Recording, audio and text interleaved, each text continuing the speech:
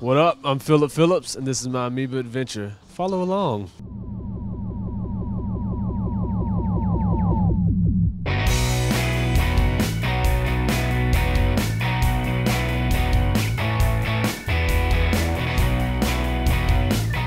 don't know what to do. There's so many, so much music, so much greatness in here.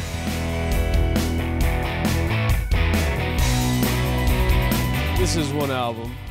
When I was a, when I was young, when I started playing guitar, Lynyrd Skynyrd was one of the first bands that uh, I started playing guitar to, and, and everything. They had like 18 guitarists up on stage, and I thought that was awesome. The more guitar, the better. And uh, I remember learning "Sweet Home Alabama." A lot of people learn that song when they start playing guitar, and uh, so I thought I was cool then. And then I got into Curtis Loew, more of the blues, and I was like, man, that's that's really awesome. He's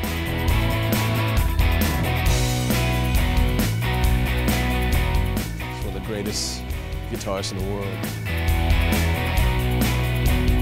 This album got me into the complicated part of the, you know, music, I guess, theory, I guess you want to say, but man, Purple Haze, Manic Depression, Hey Joe, oh my gosh, Foxy Lady, Are You Experienced?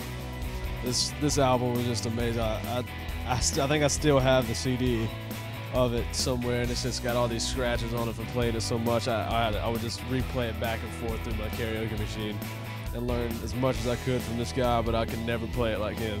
I don't think anybody ever will.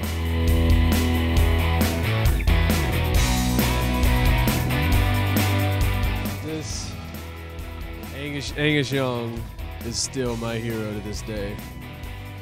Uh, I learned I learned on every album of theirs when I when I was starting to play as well, and I kind of I think I started not really singing to these songs, but to keep rhythms and everything. I think I started might have, might have started with this because it was easy chords, but it was also Angus Young would just shred while he was just doing circles on the floor, and uh, he's just he's just crazy.